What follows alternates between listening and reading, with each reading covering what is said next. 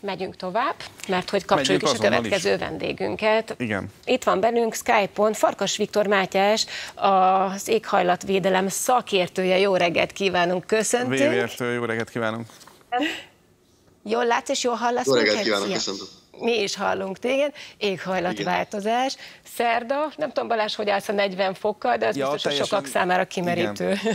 Persze, nyilvánvalóan mindenkinek, és uh, meg lehet kérdezni azt persze, hogy lehet arról beszélni, hogy hogyan védekezzünk a hőhullámok ellen, mert ez nyilván így a napi túlélési esélyeink szempontjából igen jelentős kérdés, de ettől függetlenül valószínűleg nem hőhullámok ellen kell védekezni, hanem föl kell készülnünk egészen mélyreható változásokra, mik ezek. Igen, egy, egy lépést hadd lépjek vissza. Ugye az a helyzet, hogy rohamosan fokozódik az éghajlatváltozás, és nem fogunk tudni fölkészülni ezekre a hatásokra, ha csak nem fékezzük meg. Tehát nem lehet kizárólag alkalmazkodni vagy felkészülni, muszáj a kibocsátás csökkentéssel foglalkozni, muszáj a klímaváltozás mértékét lecsökkenteni. Ugye azt mondjuk, hogy másfél fok az a az átlagos felmelegedési szint, amit egy, egy emberi társadalom még jól el tud viselni, az egy fokot már meghaladtuk, tehát fogy az időnk. És nem véletlen, hogy minden nyáron a sajtóban jönnek szembe azok a hírek, amik az extrém hőséggel vagy a szárazsággal kapcsolatosak, tehát tavaly például az erdőtüzek, extrém erdőtüzek Görögországban vagy az USA-ban, Magyarországon is és világszerte vezető hírek nyaranta, hogy vízkorlátozásokat kell bevezetni, és hát ugyanilyen az a helyzet is, amivel éppen ma állunk szembe, illetve ezen a héten, hogy, hogy hőhullámok érkeznek, szokatlanul erős meleg időszakok, és hogy igen, kérdés, hogy ezekre hogy, hogy tudunk fölkészülni. Az az állapot, amit most tapasztalunk és érzékelünk magunk körül, ez az az állapot, ami miatt sokan kongatták a vészharangot, hogy az emberiség a vesztébe szalad és magunknak okoztuk, vagy egyébként ezek az éghajlatváltozások, ha nem is feltétlenül ilyen gyors ritmusban, de maguktól is megtörténtek volna.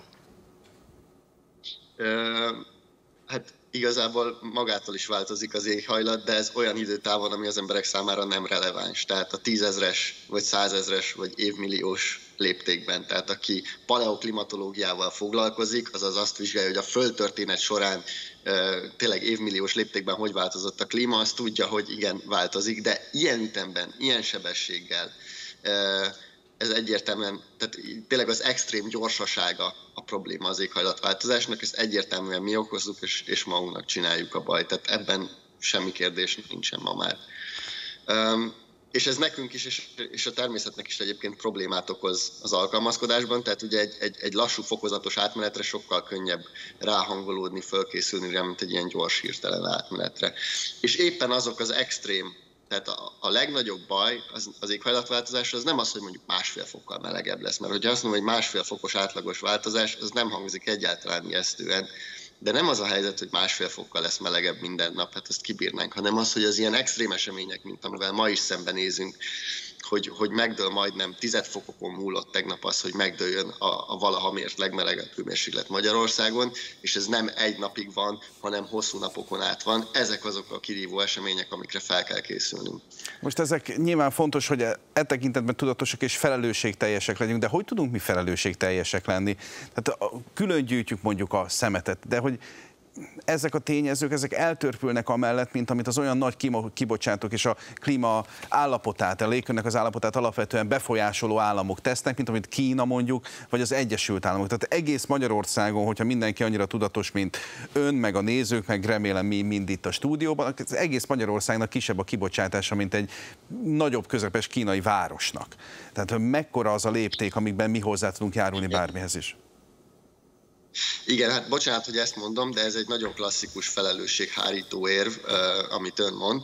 Tehát ugye mindenki mondhatja azt, hogy az én kibocsátásom az egészhez képest kicsi, és ez igaz, ezt valószínűleg mindenki elmondhatná, de ugye ebből a sok kicsiből jön össze a nagy. A Kína hatalmas kibocsátása is azért ilyen hatalmas, mert Nyugat-Európába exportálja azokat a termékeket, amik fűtik a gazdaságát. Tehát amikor a nem tudom milyen AliExpressről rendelünk valami kínai kütyűt, vagy bármi olyan terméket vásárolunk, ami Kínában készült, akkor azzal mi okozunk kibocsátást igazából Kínában, és ezek az egyéni döntések egyébként összeadódnak. Tehát való igaz, hogy ezek kicsik, de hogy végül is ezek eredményezik a, a, az egész nagyot.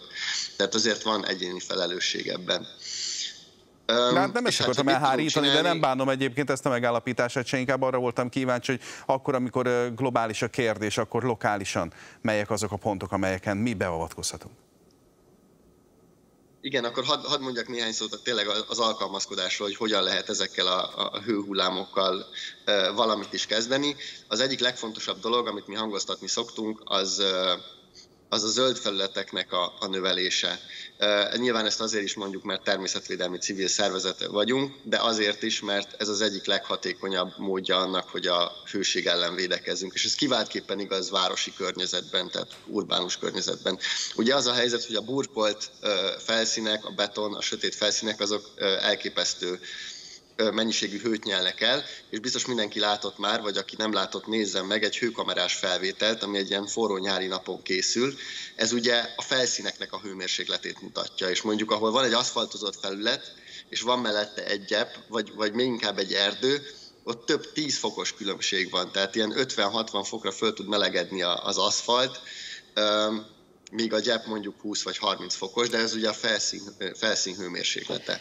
Viszont készültek olyan kutatások is, ami ugye a levegő hőmérsékletét vizsgálja, és ezek azt találták, hogy, hogy az úgynevezett zöld-kék infrastruktúra környékén, mert hogy így is nevezik már a várostervezők a, a tavakat, a gyepeket és az erdőket. Ugye kék infrastruktúra az, amikor egy vízfelülettel találkozunk egy városi környezetben, zöld infrastruktúra az, amikor növényzettel, tehát gyep vagy erdő és az ilyen területeken 15-20%-kal alacsonyabb a hőmérséklet egy hőhullámos nyári napon.